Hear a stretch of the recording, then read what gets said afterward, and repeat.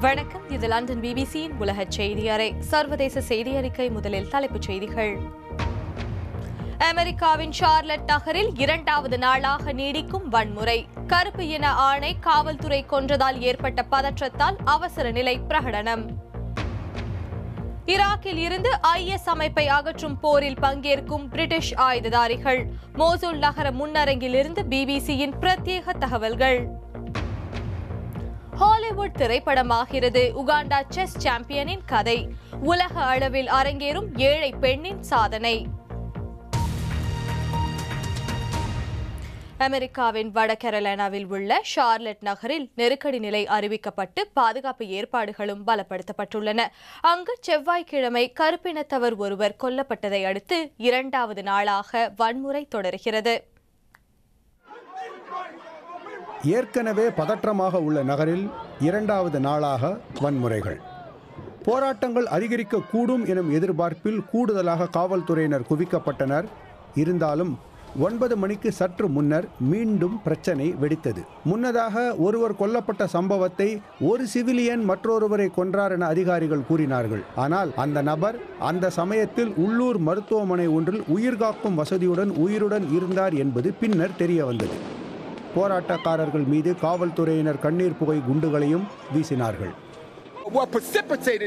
காவல்துறையினரின் இந்த கொடூரங்களுக்கு என்ன காரணம்? எங்களை காப்பதற்காக எங்கள் வரிப்பணத்தில் பணியமர்த்தப்பட்டிருக்கும் காவல்துறையினர் என்ன செய்தார்கள் என்பதையும் அதன் விளைவுகளையும் நீங்கள் பார்த்தீர்கள் தானே கூட்டத்தில் இருந்த சிலர் அமைதியை ஏற்படுத்த முயற்சித்தனர். எல்லோருடைய உயிரும் முக்கியம். புரிகிறதா? இருந்தாலும் உங்களை நாங்கள் நேசிக்கிறோம். சுமார் மூன்று மணி நேரம் இந்த மோதல்கள் நீடித்தன. தற்பொழுது ஷார்லெட் நகரில் நெருக்கடி நிலை பிரகடனப்படுத்தப்பட்டு அமைதி காக்குமாறு நகரின் மேயர் கோரியுள்ளார் ஷார்லட் நகரவாசிகள் இப்படி செய்பவர்கள் அல்ல. இருந்தாலும் அமைதியான போராட்டம் பேச்சுவார்த்தைகள் ஆகியவற்றை நோக்கி நகர முடியும் என நான் நம்புகிறேன். இங்கு நாற்பத்தி மூன்று வயதான கீத் லெமான் ஸ்காட் எப்படி இறந்தார் என்பது குறித்து காவல்துறையினர் கூறுவதை கருப்பின மக்களில் பெரும்பாலானவர்கள் நம்ப தயாராக இல்லை.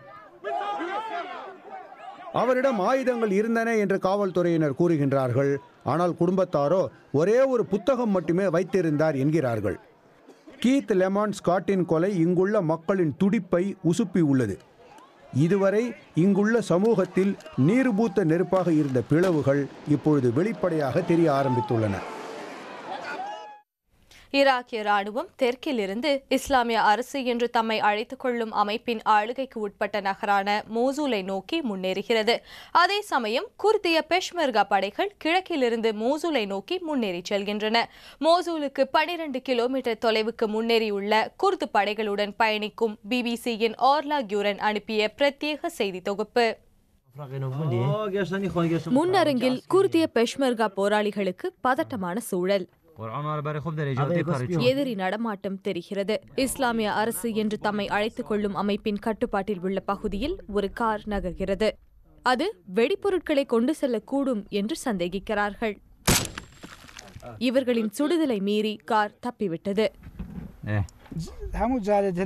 ஒரு கிலோமீட்டர் தொலைவில் ஐஎஸ் அமைப்பினர் இருப்பதாக சொல்கிறார் இந்த தளபதி. முன்னரங்கின் கரடுமுரடான பாதையில் பயணிக்கிறோம். மறைவிலிருந்து வெளிப்படும் இவர் இந்த பாஸ்க் மலையில் பதினெட்டு மாதங்களாக இருக்கிறார். இவரது சீருடை இவரை தனித்து அடையாளப்படுத்துகிறது. முன்பு பிரிட்டிஷ் ராணுவத்தில் பணிபுரிந்த இவர் தற்போது தன்னார்வ துப்பாக்கிதாரியாக இங்கே வந்திருக்கிறார். ஐஎஸ் அமைப்புக்கு எதிராக துப்பாக்கி சண்டையிடுவதில் தனக்கு தயக்கமில்லை என்கிறார். If ஐஎஸ் அமைப்பு இங்கே இஸ்லாமிய ஆட்சியை நிறுவிவிட்டால் அவர்களின் அடுத்த இலக்கு ஐரோப்பாவாகவே இருக்கும். நீஸ் பாரிஸ் தாக்குதல் எல்லாம் ஒன்றுமே இல்லை. உண்மையில் பெஷ்மெர்கா படையினர் தான் கடுமையாக இவர்களை எதிர்த்து பின்னுக்கு தள்ளி வருகிறார்கள். ஆனால் அவர்கள் முழுமையாக தோற்கடிக்கப்படவில்லை. நாங்கள் இங்கே வந்து சிறிது நேரத்தில் இந்த மோட்டார் தாக்குதல் நடந்தது. எங்கள் வருகைக்கு ஐஎஸ்இன் பதிலடி இது என்கிறார் குர்து போராளி. பெஷ்மெர்கா தமது நில ஆளுகையை தொடர்ந்தும் விஸ்தரித்து வருகிறார்கள். தமது வெற்றிகளை தக்க வைக்க திட்டமிடுகிறார்கள். தமது சுயாட்சி பிரதேசத்துக்கு சுதந்திரம் பெற விரும்புகிறார்கள். ஆனால் இப்போதைக்கு மோசூலை மீட்பதே முதல் இலக்கு. ஐஎஸ்ஸிலிருந்து விலகி வந்த இவர் நீண்ட கால சண்டைக்கு ஐஎஸ் அமைப்பு தயாராக இருப்பதாக கூறுகிறார். இவரது உறவினர்கள் ஐஎஸ் அமைப்பின் கட்டுப்பாட்டில் வாழ்வதால் இவரது அடையாளம் வெளியிடப்படவில்லை.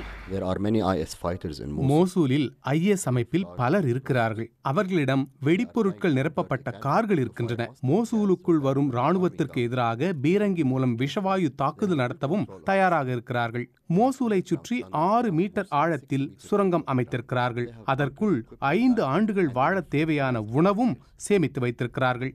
தீவிரவாதிகள் மோசூலை தமது இறுதி தளமாக கொள்ள முடிவெடுத்தால் அந்த நகர் தம்மோடு சேர்ந்து அழிவதையே அவர்கள் விரும்புவார்கள் என்று ஐநா எச்சரித்திருக்கிறது. அடுத்து மேலும் சில முக்கிய செய்திகள்.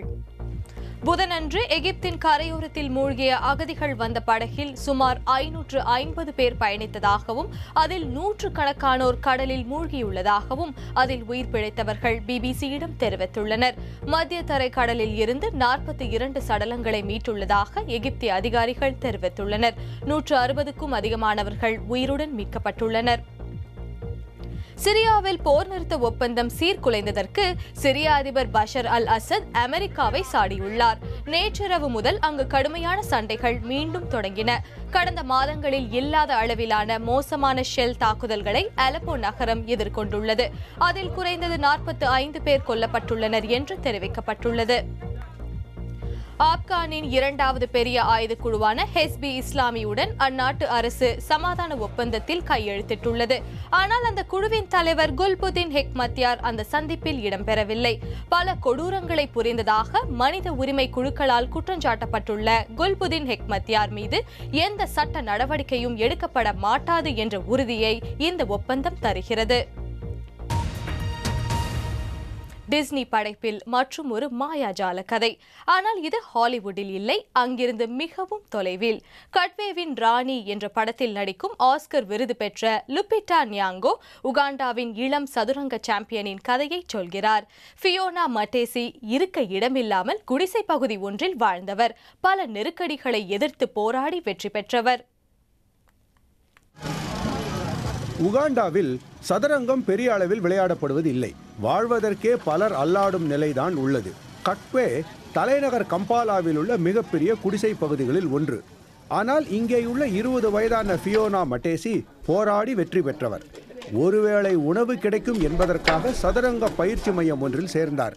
தேசிய சாம்பியன் மட்டுமன்றி ஆப்பிரிக்க சாம்பியனாகவும் உயர்ந்தார்.